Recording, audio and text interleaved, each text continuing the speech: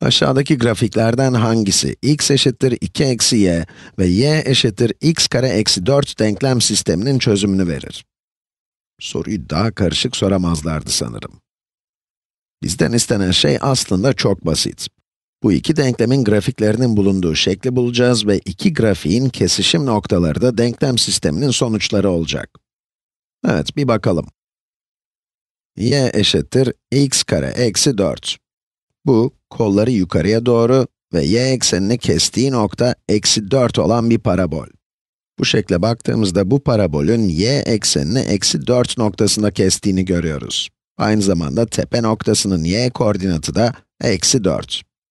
Ve kolları yukarıyı gösteren tek parabol de bu. Evet, kırmızı şekil sanırım aradığımız şekil. Yine de emin olmak için diğer denklemin nasıl gösterildiğine bir bakalım. Evet, eğer bu denklemi bana eğimi ve y eksenini kestiği noktayı gösterecek şekilde yeniden yazacak olursam, x eşittir 2 eksi y, iki tarafa y ekleyelim, y artı x eşittir 2 ve şimdi de iki taraftan x çıkaralım.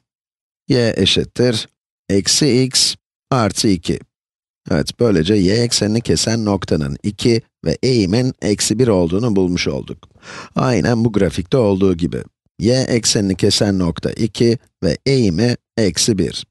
Ve verilen denklem sisteminin çözümleri bu iki grafiğin kesiştiği noktalar.